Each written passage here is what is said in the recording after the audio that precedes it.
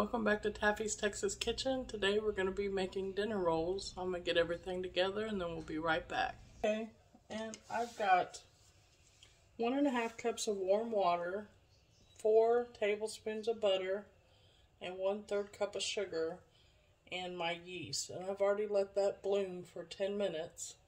And we're going to pour that into our mixer. And then we're going to put one egg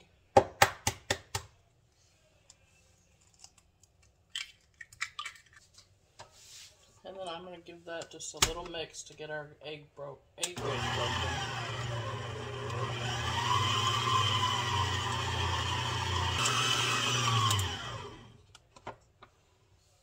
I'm going to add a tablespoon of salt to our flour. I'm just going to mix that around a little bit. And I've got four cups of flour. We're going to add in one cup, and then we're going to give that a mix.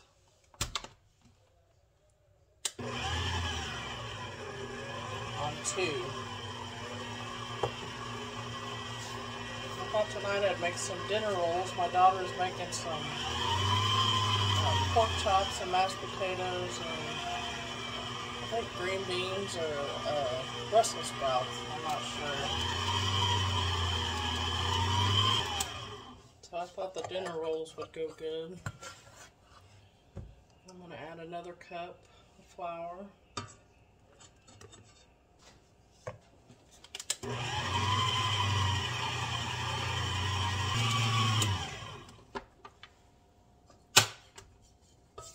Scrape down the sides.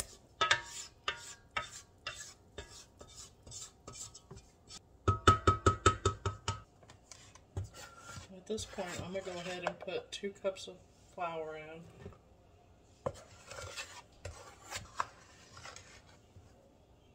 So in total, we need four cups of flour. And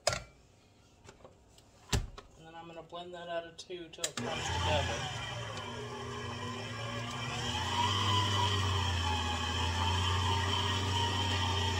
Okay, the dough has came away from the sides of the bowl let you see in there.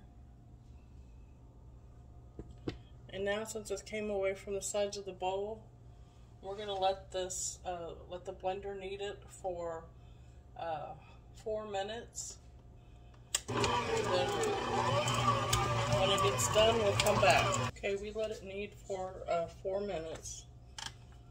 I'm to take it off the dough here. Now I'm just going to coat this with oil and we're going to let it uh, set for one hour to rise. Okay, our dough is done rising, and I'm just going to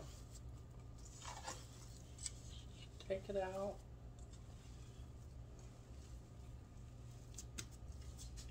And at this point, you don't have to knead it or anything. We're going to cut it into uh, 12 pieces and then roll them into little balls. And I've already got me a grease pan. My pan is about an 8 by 10 and this recipe will make up to 15 rolls if you want to do it in a bigger pan. You can't even make up to 18 rolls if you want to make, just depends on what size dinner rolls you like. So I'm going to cut this in half.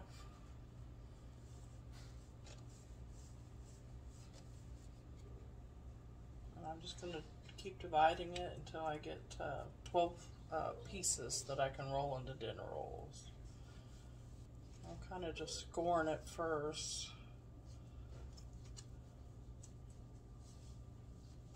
Just try to make sure you're doing equal so your rolls come out all the same size. And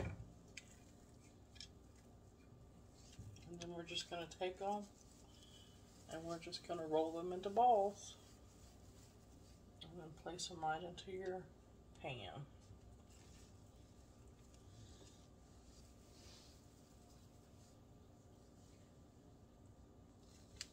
And I'll bring you back when I get all these rolled up. Okay, I've got them all rolled up into little balls. You just want to put them in a pan. You don't want them to be touching. They're going to, uh, we're going to let these rise again for uh, about 30 to 45 minutes. They should fill up the whole pan once risen. And uh, just a tip on, uh, like today, we've had uh, cold, icy weather here in Texas, which is rare for us. So it's a little bit colder in the house. So what I've done today is um, just turn on the microwave for 30 seconds and then uh, cover these and put them in the microwave. Another uh, trick you can do is turn on your oven on 200 degrees and let it come to temperature and then uh, turn it off and then I would wait for just a couple minutes and then cover them and you can put them in the oven and let them proof that way.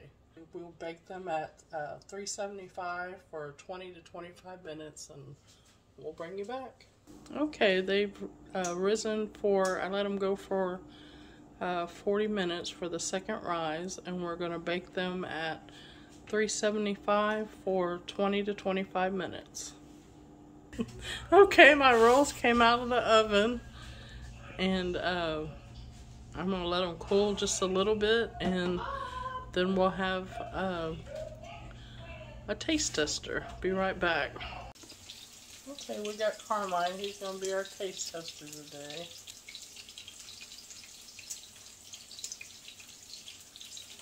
I like it. Is good? You can see I put butter on it. That's what the texture of the rolls are. Alright, well thank you for joining us today. Please subscribe and hit the like button and come back and join us next time. Thank you. Bye-bye.